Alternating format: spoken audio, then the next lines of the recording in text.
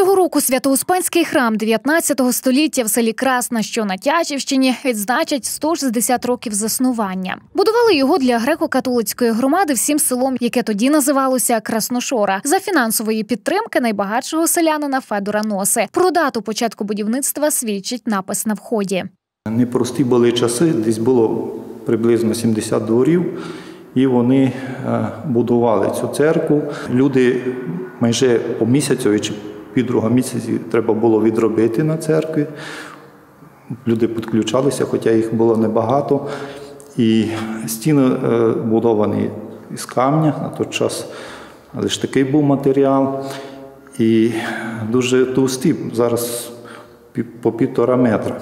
Церкві збереглися дві унікальні ікони 19 століття, які належать пензлю іменитого закарпатського художника Ігнатія Рожковича. Дослідники кажуть, син засновника церкви навчався разом із живописцем в Ужгородській семінарії. На Закарпатті його розписи можна побачити у церквах Ужгорода, Мукачева, Великої Копані. Батько був священником, то е, він старався от якраз відображати реальні картини біблійських історій, е, зображення святих, Божої Матері, Спасителя. Краснянські ікони досліджують закарпатські мистецтвознавці, а студенти-живописці пишуть дипломні роботи. кажуть, завдяки дбайливому ставленню вірян образи дійшли до нашого часу у гарному стані, хоча й написані на жерсті, яка має властивість із часом окислюватись. Не всі іконостас у нас покритий склом, а якраз нижній ярус, на якому якраз ці дві ікони вони знаходяться, вони